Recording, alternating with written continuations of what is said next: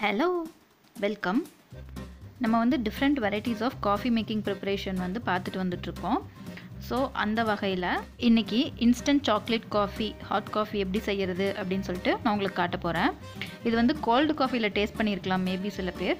இது வந்து ஹாட் காஃபியில் எப்படி பண்ணுறது அப்படின்னு சொல்லிட்டு இப்போ நான் உங்களுக்கு காட்ட போகிறேன் இதுக்கு ஃபஸ்ட்டு நான் பால் காய வச்சுக்கிறேன். பால் வந்து கெட்டியாக இருக்குது அப்படின்னா கொஞ்சமாக தண்ணி விட்டு காய்ச்சிக்கோங்க.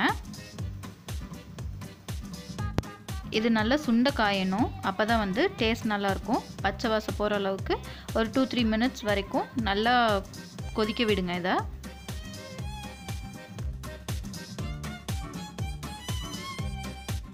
அடுத்து நான் இந்த பெரிய கிளாஸில் இன்றைக்கி காஃபி செய்ய போகிறேன் அதனால ரெண்டுலேருந்து மூணு டேபிள் ஸ்பூன் சுகர் எடுத்துக்கிறேன்.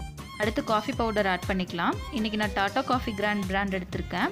இதில் ஒன்றுலேருந்து ஒன்றேகால் tablespoon coffee powder add பண்ணிக்கோங்க. இது பெரிய கிளாஸ்ன்றதால இவ்வளோ அமௌண்ட் எடுக்கிறோம். அடுத்து நான் ஹெர்ஷி சிரப் யூஸ் பண்ண போகிறேன் இது சாக்லேட் காஃபின்றதால இன்றைக்கி நான் இந்த சிரப் யூஸ் பண்ணுறேன் நீங்கள் இதே தான் யூஸ் பண்ணணுன்னு கிடையாது. நீங்கள் ஹோம்மேட் கூட யூஸ் பண்ணலாம். ஹோம்மேட் எப்படி பண்ணணுன்னா டபுள் பாயிலிங் மெத்தடில் நம்ம வந்து சாக்லேட் சிரப் செய்யலாம். இந்த மாதிரி கீழே பேஸில் ஒரு பாத்திரம் வச்சு அதில் கொஞ்சமாக தண்ணி ஊற்றி மேலே வந்து ஒரு பவுல் வச்சு அதில் உங்ககிட்ட என்ன சாக்லேட் இருக்கோ அதை போட்டு கொஞ்சமாக பட்டர் ஆட் பண்ணி நல்லா இதை வந்து மெல்ட் ஆகிற வரைக்கும் மிக்ஸ் பண்ணிக்கோங்க. அவ்வளோதான் சாக்லேட் சிரப் ரெடி ஆயிடுச்சு உங்களுக்கு எந்த சாக்லேட் டேஸ்ட் பிடிக்குமோ அந்த சாக்லேட் நீங்கள் ஆட் பண்ணிக்கலாம். அடுத்து நான் சிரப்பை இது மாதிரி ஜிக்ஸாக் ஃபார்மில் ஸ்ப்ரெட் பண்ணிக்கிறேன். ஸோ இப்போ பாருங்கள் இது மாதிரி நான் சிரப்பை ஸ்ப்ரெட் பண்ணி வச்சுருக்கேன். அடுத்து நம்ம காஃபி பவுடர் அண்ட் சுகரில் பாயில் பண்ணி வச்சுருக்க மில்க் ஆட் பண்ணி நல்லா ஆற்றிக்கோங்க இது வந்து ரெண்டுமே கரையணும். அந்த அளவுக்கு நல்லா நுர வர வரைக்கும் ஆற்றிட்டே இருங்க.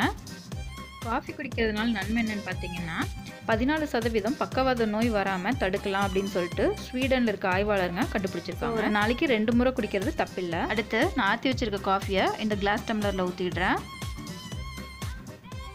இப்போ இதில் கொஞ்சமாக சாக்லேட் சிரப் மேலே ஸ்ப்ரெட் பண்ணி ஊற்றுறேன் அதுக்கு மேலே நான் கட் பண்ணி வச்சுருக்க சாக்லேட்ஸை வந்து இது மாதிரி மேலே ஸ்ப்ரெட் பண்ணி விடுறேன். உங்களுக்கு பிடிச்ச சாக்லேட் நீங்கள் வந்து மேலே ஸ்ப்ரெட் பண்ணிக்கலாம். அதுக்கப்புறமா நான் சாக்லேட் சிப்ஸ் யூஸ் பண்ணுறேன் இது வந்து ஆப்ஷனல் தான். உங்களுக்கு வேணும்னா நீங்கள் இதை ஆட் பண்ணிக்கலாம்.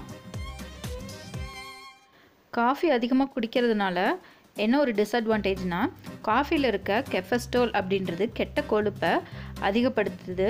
இதனால் இதய நோய் வருவதற்கான வாய்ப்பு இருக்குது அப்படின்னு சொல்லி சொல்கிறாங்க ஸோ உங்களுக்கு இந்த வீடியோ யூஸ்ஃபுல்லாக இருந்திருக்கும்னு நினைக்கிறேன். நீங்களும் என்னோடய ரெசிபி ப்ரொசீஜர் ஃபாலோ பண்ணி பார்த்துட்டு எப்படி வந்திருந்ததுன்னு எனக்கு சொல்லுங்கள் உங்களுக்கு வீடியோ பிடிச்சிருந்ததுன்னா லைக் பண்ணுங்கள் கண்டிப்பாக ஃப்ரெண்ட்ஸ் ஃபேமிலி மெம்பர்ஸ்க்கு ஷேர் பண்ணி அவங்களையும் என் ரெசிபி ஃபாலோ பண்ண சொல்லுங்கள் இது வரைக்கும் என் சேனல் யாரும் சப்ஸ்கிரைப் பண்ணாமல் இருந்தால் இப்போவே சப்ஸ்கிரைப் பண்ணி அப்படியே பக்கத்தில் இருக்க பெல் ஐக்கானையும் ப்ரெஸ் பண்ணிடுங்க இதே மாதிரி யூஸ்ஃபுல்லான வீடியோவோட திரும்ப வரேன் பாய்